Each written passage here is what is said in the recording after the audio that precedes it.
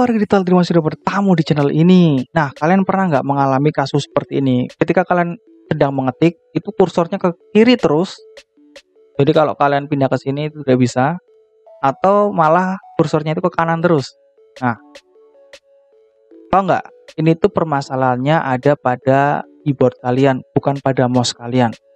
Jadi arah kanan atau arah kiri di keyboard kalian, keyboard laptop kalian itu mengalami kerusakan. Mungkin disebabkan karena pernah terbentur atau pernah kalian itu memencetnya itu terlalu keras sehingga ada kerusakan pada bagian hardware keyboardnya. Nah, terus solusinya gimana? Solusinya ada dua. Kalau masih bisa diperbaiki, kalian bisa pergi ke service center terdekat. Kalian bisa pergi ke service center sesuai dengan merek laptop kalian. Kalau service kalau misal laptop kalian itu Lenovo, pergi ke service center Lenovo. Kalau laptop kalian itu XP, pergi ke service center HP. Kalau kalian laptopnya itu Acer, kalian bisa pergi ke service center Acer dan terusnya.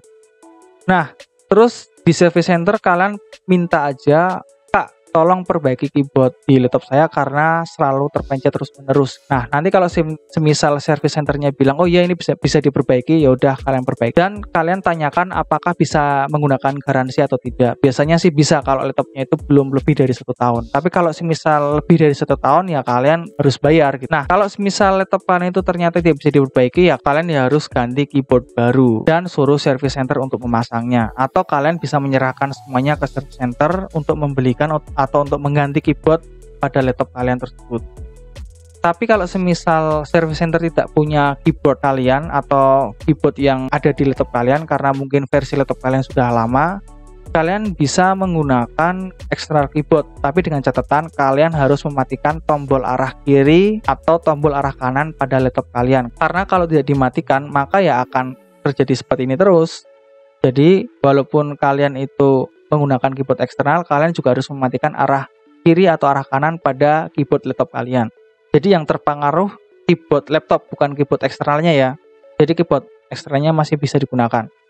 Nah, terus untuk aplikasinya kalian bisa cek di kolom deskripsi.